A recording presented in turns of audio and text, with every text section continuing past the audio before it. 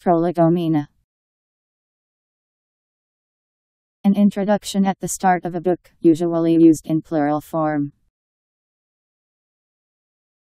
P R O L E G O M E N A. Prolegomena.